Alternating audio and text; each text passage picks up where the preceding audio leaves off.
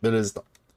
Armezinho de hoje aí, tá? Nós estamos correndo Guardiões, então a gente corre mapa da Maven, Dexterity Play, Vivid Memories, Remnants of the Past Conquer, corre atrás da Maven, estamos correndo atrás de Sindicato, só não, só não pego Pillage Plunder e Bribery. O resto dos pontos a gente pega tudo. Intelligence, Test of Loyalty, Efetivo, executa, executa, executa e interroga. Scarabs que eu estou utilizando aqui, tá?